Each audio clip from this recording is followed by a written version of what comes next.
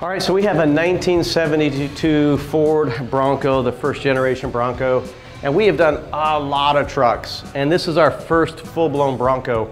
And so if you went to SEMA this last year, you probably out by the Ford drifting corral and where they would give you rides to ride around on the trucks and all that kind of stuff. You probably saw in the outdoor Ford booth they had a Kinser chassis with this silver Dennis Carpenter brand new Ford Bronco tub all put together and where you can check it all out and see the Coyote motor. So that's actually this one right here. And so we're actually, we got it here, we've been going through it, making a lot of modifications, but very subtle things that uh, you, you know, you would probably not notice unless you're really looking, but they are gonna be substantial differences. So we've actually got it painted, but we actually came in and wanted to put a, a really thin coat of a bed liner down in here. And you can see that we've already done that. It's all cleaned up. We've done the bottom, we've done inside, and then it's super clean.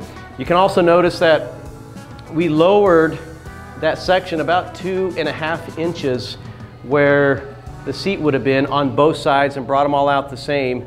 But we wanted to get some nice uh, electric seats in there. In order to do that, we actually had to lower them down because you set just a little bit too high. So that's all been redone. We've actually beaded it, made it nice and strong, ready to go. So all the fabrication's been done. I'm gonna peel this back just a little bit.